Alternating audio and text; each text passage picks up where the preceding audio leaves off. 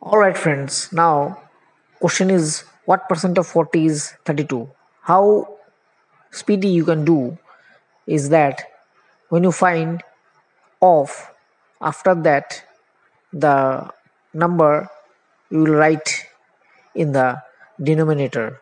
And after is you will write in the numerator. Since it is asking for percentage so multiply it by 100 so if you cut this 4 is the 32 so it will turn out to be 80 percent. So option c is the right answer. Thank you.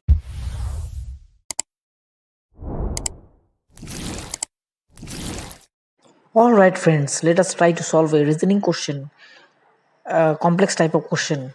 If we take it double of it, so 18, 9, 9 to 18, 12, so 6, 6 to the 12, so no option is here given 6, so it is not right.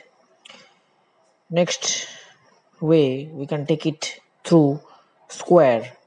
So 18 square is we know that it is 324 so if we add it it becomes 9 and let us see if you square 12 square it is 144 so 1 plus 4 plus 4 is equals to 9 so answer is 9 option a is the right answer. Thank you. Friends try to solve this question of number system in a small and tricky way. So what is the trick? Number of terms divided by first term into last term. So what is the number of terms? Here you can see it is 6 number of terms here. And the first term is 3 and the last term is 15 so here the answer is 2 by 15 option d. Subscribe to get more videos